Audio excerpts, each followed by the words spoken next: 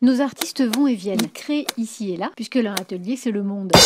Et s'ils tiennent tant à être dans une itinérance, dans une migration permanente, c'est que leur art va à la rencontre de l'autre. On retrouve donc dans leurs œuvres une certaine forme d'interculturalisme.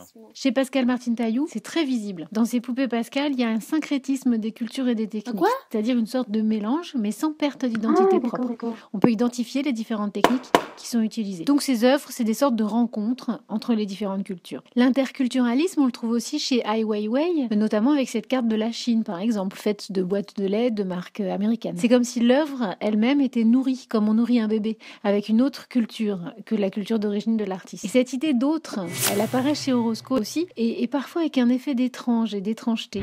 Chez Orozco, il y a une présence de l'humain qui apparaît souvent par l'absence, notamment dans les œuvres où il collecte des traces du passage de l'humain un peu partout dans le monde. Chez Orozco, l'autre est aussi étrange que familier. L'étranger, en fait, est en chacun de nous. Parce que cette idée d'autre, en fait, c'est une très belle idée, mais finalement, l'autre, c'est quoi? L'autre, ça n'existe que par rapport à moi, qui ai en fait l'impression d'être le centre du monde. L'autre, c'est une notion qui est très discutable, parce qu'en fait, elle est toujours relative à un point de vue. Or, nos artistes bougent tout le temps.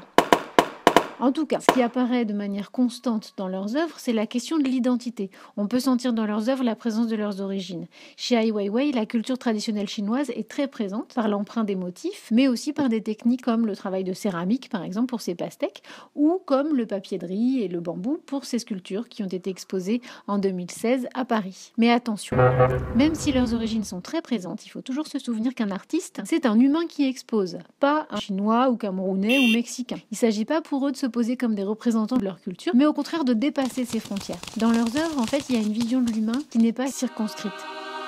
C'est un humain plus qu'humain, c'est une sorte d'humain transfiguré, une idée de l'humain qui dépasse les catégories préétablies. On a l'exemple du nom de Pascal Martin Taillou, qui est volontairement choisi pour n'être ni masculin ni féminin, ou un peu des deux. Bref, ça rentre pas dans les cases. Dans cette œuvre, chaque foulard est comme un individu. C'est une forme de métonymie De qui n'est pas sans rappeler cette autre œuvre de Christian Boltanski, où le vêtement vient représenter l'humain Ah, qui prend un caractère d'universalité.